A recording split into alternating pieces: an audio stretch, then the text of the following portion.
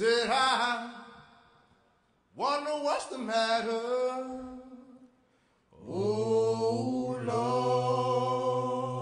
Lord. Originally, it was supposed to be an adaptation of War of the Worlds, and then it was going to be about fear in America, dealing with things like the Salem witch trials and all that kind of stuff, different ways of how we've dealt with fear, how fear has been imposed on us as a country, and kind of snaps us into shape. And then, like I said, organically, because of the Katrina piece and and Chay saw that. That's why we ended up doing America. Working with Chay at the Humana Festival was an amazing opportunity because he got to take the gloves off and just say, "All right, let's let's go. You know, let's go for all we know."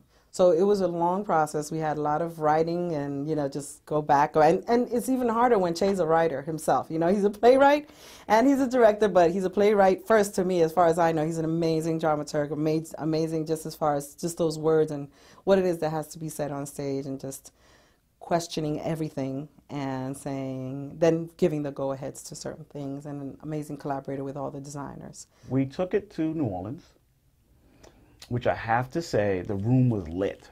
And then I started seeing people get up and walk out. So I was kind of like, okay, well, it is what it is. But then I saw them come back. So I was like, what's going on? And so after about the fourth person, I see get up and then go back. I said, there's not, there's not much that much bathroom going in the world. Like, what's go- something's happening, but I don't know what it is. So when the show was over, we had a talk back, and then a woman said, it was so much that I needed a moment to get up and take a breath and come because you guys were hitting it. And then the other person said, yes, yes, yes. And then the talk back started. And literally 20 minutes into the talk back, we stopped talking. And it was the people talking about what they saw, then it superseded even our show, what was really going on in New Orleans that no one was talking about, da, da, da, da.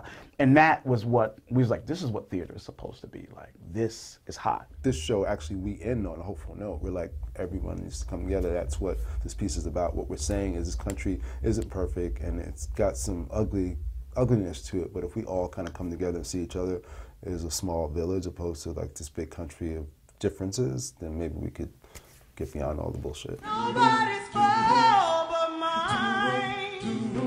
Diggy diggy it!